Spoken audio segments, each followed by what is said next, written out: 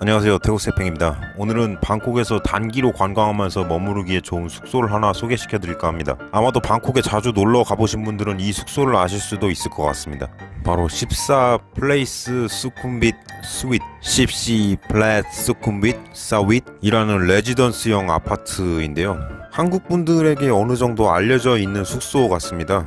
위치는 그 아송역 근처에 있고요 저는 이 숙소를 이런 분들한테 추천을 드리고 싶습니다. 우선 조용한 숙소를 좋아하시는 분, 저처럼 잠기가 예민해서 조용한 곳을 좋아하시는 분들에게 추천드리고 싶고, 직접 식재료를 사오셔서 요리를 하시거나 아니면 찾아가는 게 어렵지 않은 숙소를 선호하시는 분들께 추천드리고 싶습니다. 그리고 이런 분들에게는 추천드리기가 좀 어려울 것 같습니다. 늦은 밤 시간에 자주 돌아다니실 분이라든지, 물론 통행 금지가 없어졌다고 가정을 했을 때 말이죠. 그리고 흡연자분, 그리고 수영장이나 헬스장 이런 부대 시설들을 이용하고자 하시는 분들 이런 분들께는 추천을 드리기가 좀 어려울 것 같은데 제가 지금부터 그 이유를 이 숙소의 장단점을 설명하면서 말씀드리도록 하겠습니다. 우선 장점부터 말씀을 드리자면 이 숙소는 아송역과 매우 가까워서 찾기 쉽습니다. 이렇게 숙소에서 오른쪽으로 걸어 나와서 조금만 걸으면 얼마 전에 새로 건설된 솔라리아 니시테츠 호텔이 이렇게 나오고 그 옆에는 수다 레스토랑이 있습니다. 여기에서 태국 음식을 사 먹을 수 있고요. 그리고 아송역에 최근에 새롭게 생긴 출구가 하나 있는데 바로 여기입니다. 이 소라리아 니스테츠 호텔 바로 앞에 있는 이 출구로 내려와서 작은 길 쪽으로 제가 걸어왔던 작은 길 쪽으로 조금만 걷다 보면 바로 숙소를 찾을 수 있습니다.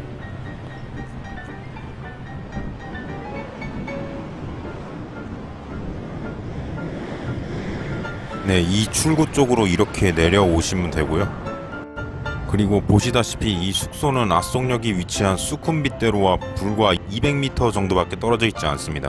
이렇게 침실 쪽 발코니에서 터미널 21이 보일 정도로 매우 가깝습니다. 그럼에도 불구하고 매우 조용한 편입니다. 물론 제가 싫어하는 오토바이 소음이 아예 들리지 않는 것은 아니었습니다만 그래도 수면을 방해할 정도는 아니었습니다. 그리고 방 안에 이렇게 숙소가 정한 규칙이 적혀 있는데 소음 유발에 대해 상당히 엄격하게 규제를 하고 있는 것을 알 수 있습니다. 그래서 오토바이 같은 외부 소음뿐만 아니라 다른 방에서 머무르고 있는 다른 투숙객이 유발하는 내부 소음에 대해서도 크게 걱정을 안 하셔도 될 것 같습니다. 다만 그 외에 소음을 유발하는 요인이 완전히 없었던 것은 아닌데 이건 조금 이따 단점을 설명할 때 말씀드리도록 하겠습니다. 그리고 이 숙소의 또 다른 장점은 방이 상당히 넓다는 것입니다. 제가 숙박했던 가장 가격이 싼 옵션 이 원 베드룸 아파트가 50제곱미터 그러니까 약 15평 정도 되었습니다. 침실 끝에서 거실 끝까지 큰 걸음으로 대략 11걸음 정도 되더군요. 화장실도 두 개나 있어서 편리했고요. 발코니도 두 개 있었습니다. 침실 쪽, 거실 쪽에 각각 한 개씩 있더라고요. 거실 쪽 발코니에는 세탁기, 세제, 건조대가 마련이 되어 있어서 빨래도 하고 건조도 하실 수 있습니다. 그리고 이 빨래 건조할 때 특징이 이 건조대 바로 앞에 에어컨 실외기가 붙어 있어서 빨래 말릴 때 실외기에서 나오는 바람이 건조기 역할을 합니다.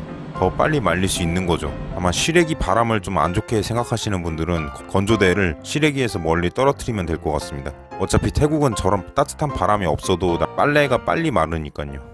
그리고 부엌 키친에 전자레인지, 인덕션, 온수기, 식기, 조리도구 등이 다 마련이 되어 있어서 요리에 먹기 정말 편리합니다. 청소 서비스는 이틀에 한 번꼴로 격일로 해주는데 청소를 할 때마다 생수 페트병 두 개를 제공해 주더군요. 저도 여기서 숙박이 끝날 때까지 남아 돌 정도로 많은 생수를 제공받을 수 있었습니다. 그래서 여기에서 숙박을 하신다면 생수는 따로 구매를 하지 않아도 될 것 같고요. 청소를 할 때 생수 외에 휴지나 수건을 제공해 주기도 합니다. 빨래 세제도 처음에 체크인할 때 많이 채워 놓긴 한데 요청을 하면 추가적으로 받을 수 있습니다. 그리고 청소는 몇 시에 받을지 투숙객이 결정할 수 있습니다.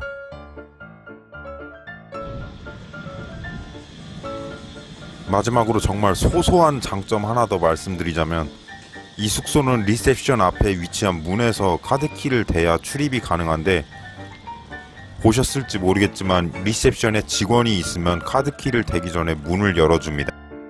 네, 이런 장점들이 있고요. 그럼 이제 단점에 대해서 말씀드리겠습니다. 일단 첫 번째 단점으로 부대 시설이 부족하고 청소를 했을 때 청결도가 약간 미흡한 것 같았습니다. 물론 여기 부대 시설이 있긴 합니다만 이렇게 1층에 로비가 있고 간단하게 운동을 할 수 있는 도구라든지 회의 장소, 수영장 같은 게 마련이 되어 있긴 하지만 호텔과도 같은 뭐 다양하고 좋은 부대 시설을 기대하신다면 이곳은 적합한 장소가 아닌 것 같습니다. 수영장도 크기가 꽤 작아서 성인이 수영하기에는 좁은 것 같습니다. 그리고 격일 에 한 번씩 진행하는 청소의 경우 바닥 청소와 침구류 교체를 따로 진행하는데 제 주관적인 느낌으로는 그렇게 깨끗하게 청소를 하지는 않는 것 같다는 그런 느낌이 좀 들었습니다. 그냥 모아놓은 쓰레기만 비우고 잘 보이는 곳만 쓸고 닦는 정도? 청소 이후에도 막 먼지가 보이는 곳이 있고 뭐 그다지 깨끗해지지 않은 것 같다는 그런 느낌이 좀 들었고요. 그리고 두 번째 단점은 인터넷 와이파이가 자주 끊기는 것 같았습니다. 유튜브 동영상 보다가도 갑자기 끊기고 뭐 영상 편집 웹사이트 작업을 하다가도 끊기고 그래서 뭐 와이파이 연결을 다시 한번 해야 하는 그런 경우가 종종 있었습니다. 그리고 또 한 가지 단점은 소음이었습니다. 아니 아까 소음이 없는 조용한 곳이라면 무슨 소리냐고 하실 수 있으시겠지만 정말 조용한 곳이었습니다. 그런데 이틀 정도 제 수면을 방해했던 소리가 있었는데 그건 바로 개구리 울음소리였습니다.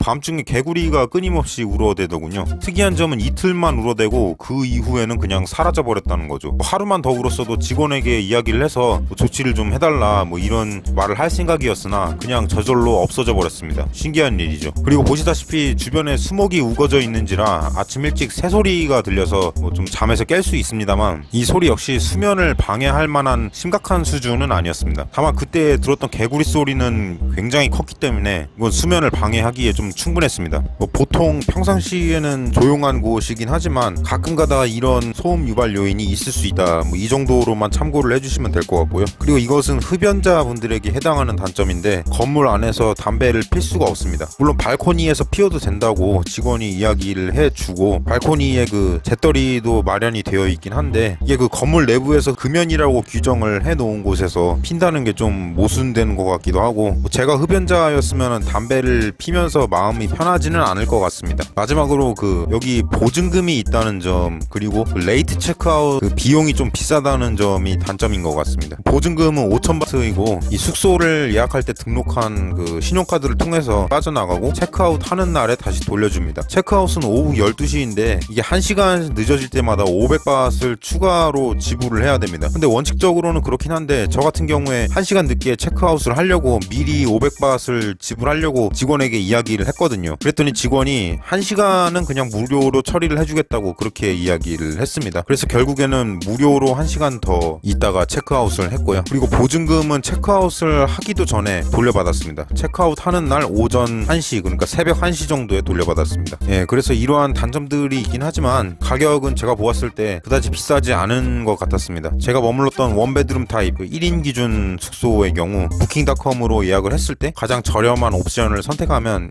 1박에 한 700바트에서 800바 정도 그 정도 됩니다. 이 숙소가 가지고 있는 장점들을 생각해 보면 괜찮은 가격이라고 저는 그렇게 생각을 합니다. 다만 현재 바이러스 시국으로 인해 일시적으로 내려간 가격일 수도 있겠네요. 이 부분은 솔직히 제가 옛날 가격을 잘 모르니까 확실하지는 않습니다. 그 외에 여기 숙소를 이용하신 분들이 후기를 보면 모기가 많다는 그런 의견이 있었는데 저는 여기 머무르면서 뭐 한 마리 정도 봤던 것 같습니다. 이것은 제가 모기 훈증기를 가지고 다녀서 그런 것일지도 모르겠습니다만 제방 은 수영장을 보고 있는 방이었음에도 불구하고 그렇게 모기가 많지는 않았던 것 같습니다. 공사 소음이 이 숙소 주변에서 발생한다는 그런 후기도 보였던 것 같은데 이건 아마도 그 제가 아까 말씀드린 그 니시테츠 호텔 그 건설로 인한 소음을 말씀하시는 것 같습니다. 지금은 호텔이 다 완공이 되어서 공사 소음은 없어진 것 같습니다. 그리고 숙소가 수다 레스토랑 뒤편에 있어서 음식 냄새가 난다는 의견도 있었으나 글쎄요 저는 그다지 느끼지 못한 것 같습니다. 그리고 여기는 단기 체류는 좋은 것 같은데 장기로 체류 체류를 할 경우에 그 할인율이 썩 높지는 않은 것 같아서 부족한 것 같습니다. 제가 물어봤는데 제가 보던 원베드룸 옵션이 뭐 1개월에 한 2만 7천 바 정도 된다고 하더라고요. 예, 비싸죠. 여러 가지 특성들을 고려를 해보았을 때 단기로 방콕에서 여행하시는 분들께 적합한 숙소라고 생각을 합니다. 나중에 바이러스가 끝나고 방콕에 여행 오시면 조용하면서도 아송역에서 찾아가기 쉬운 이 숙소에서 한번 머물러 보시는 건 어떠실지요? 이상 태국 세평이었습니다. 끝까지 봐주셔서 감사합니다.